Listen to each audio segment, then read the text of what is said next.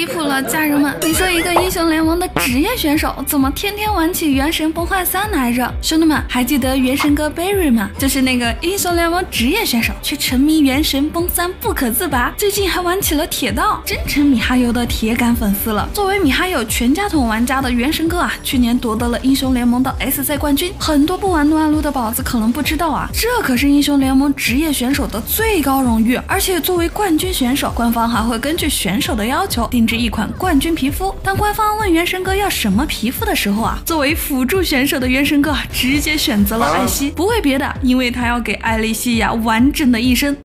说正经的，原神哥擅长的辅助角色有很多，为什么会选择艾希呢？因为艾莉西亚也是和艾希一样使用弓箭作为武器。原神哥之前就有用自己喜欢的游戏角色做皮肤的先例啊，比如他之前的冠军皮肤就是用的《公主链接》里的项链，选择的曙光女神。呃，就是这个还原度啊，有点一言难尽。那话又说回来啊，为什么偏偏选择艾丽西亚呢？这和原神哥前段时间的职业经历有关。每个选手都有状态低谷的时候。那个时候的元神哥状态不佳，从原本夺冠的大乌龟辗转来到了现在的 DRX。这个时候刚好是崩坏三的乐土篇章，可以说艾丽陪伴元神哥度过了他职业生涯最黑暗的时刻，甚至在他直播的时候啊，也非常开心的给大家展示他抽到的艾丽西亚。所所以说原神哥选择艾丽作为冠军皮肤的设计原型一点也不奇怪。现在 DRX 的冠军皮肤也公布了，原神哥在推特上面也非常开心的回复了兄弟们，让我们。一起加入艾门吧！